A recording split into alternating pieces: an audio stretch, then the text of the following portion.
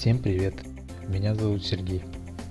В одном из прошлых видео я показывал, как можно комбинировать движения сайта Mixama в Blender. В этом видео я покажу немного более сложный пример. Сделаем из нескольких движений с Mixama небольшую историю. Для этой анимации нам понадобится сценарий и 5 файлов движений, скачанных с сайта Mixama.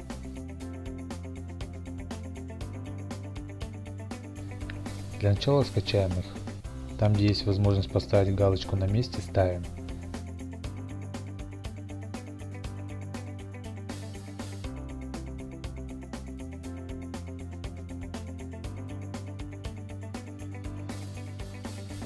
Потом импортируем их в Blender по одной.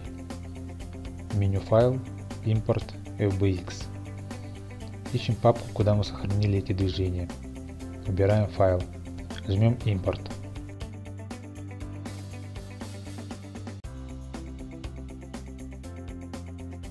Идем во вкладку анимация. Нам здесь нужны окна DopSheet, Graph Editor и NLA редактор. В окошке с DopSheet меняем значение на Action Editor. Здесь мы переименуем нашу анимацию. Можно теперь удалить персонажа.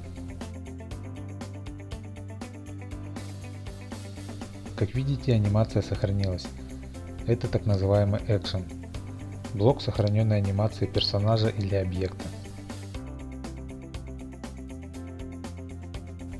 Проделаем эти операции с другими движениями с Миксама.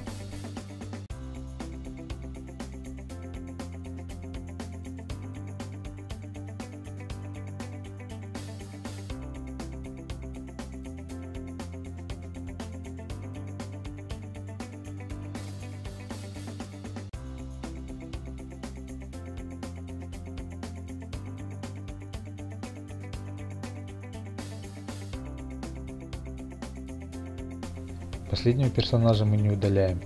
Вместо этого мы будем сейчас редактировать анимацию и создавать новые экшены. Выберем скелет персонажа. Идем в Object Properties, Viewport Display, In Front. Теперь скелет будет всегда виден, как бы мы ни повернули фигуру. Это облегчит нам работу с ним.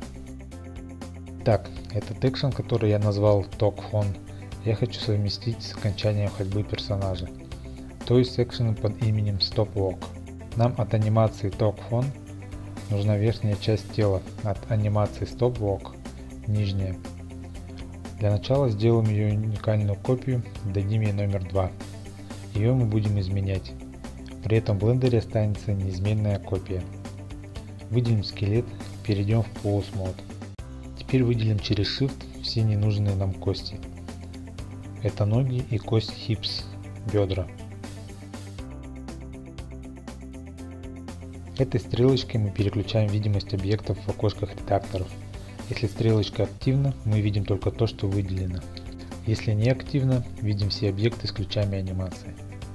Удаляем ключи с выделенных костей. Этот экшен готов. Выбираем следующий под названием Stop Walk. Делаем копию. Инвертируем выделение костей клавиши Ctrl-I. Удаляем ключи с выделенных костей. Остальные экшены мы пока оставим как есть. Давайте соберем из них нашу маленькую историю. Делать это будем в NLA редакторе. Выбираем экшен, который по сценарию должен быть первым. Это Set Walk, грустная походка. В NLA редакторе превращаем его в стрип. Этот стрип мы можем теперь резать, двигать, ускорять, совершать другие действия. При этом оригинал анимации не изменится. Далее добавляем в редактор анимацию с телефоном. Нам она такая длинная не нужна. Доводим курсор до нужного момента, выделяем стрип и жмем Y. Удаляем ненужную часть. Добавляем Stop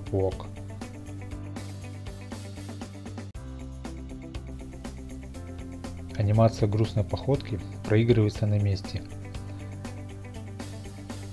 А во время анимации под названием Stop Walk персонаж передвигается. Давайте отредактируем анимацию так, чтобы персонаж оставался на месте. Выбираем стрип, жмем Tab, выбираем кость Hips.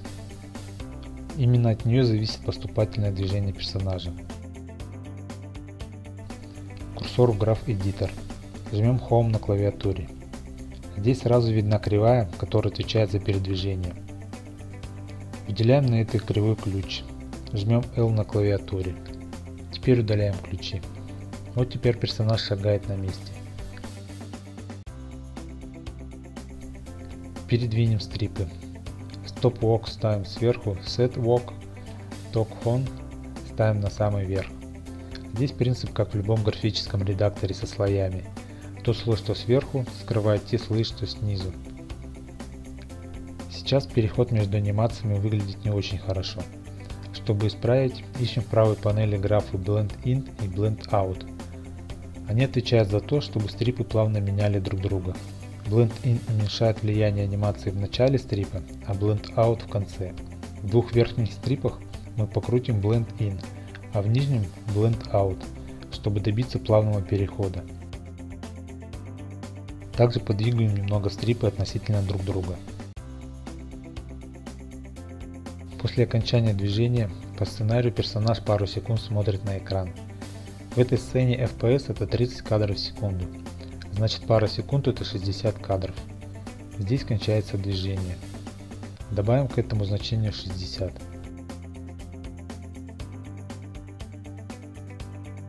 Здесь мы добавим анимацию прыжка. Я хочу ее вначале немного смешать с предыдущей анимацией. Для этого мы ее дублируем. Ставим сверху над анимацией прыжка. Blend In поставим на 0 и подвигаем Blend Out. Это потому, что у этого стрипа теперь смешивается окончание с началом другого стрипа. У этого другого мы покрутим Blend In. Когда добьемся нужного результата, обрезаем и удаляем ненужную часть верхнего стрипа. Добавим последнюю анимацию танец. Ставим ее под анимацией прыжка. Двигаем их относительно друг друга и крутим Blend In и Blend Out. Стрип с танцем повторим два раза. Идем в боковую панель, ищем Playback Settings, в графе Repeat ставим цифру 2. Основная анимация готова. В следующем уроке я покажу, как добавить в нее телефон, как отредактировать, добавляя ключи поверх стрипов и как проанимировать переключение между камерами с помощью маркеров. Ставьте лайк, если видео понравилось. Это очень хорошая мотивация для меня и знак для YouTube, что видео годное. Всем пока.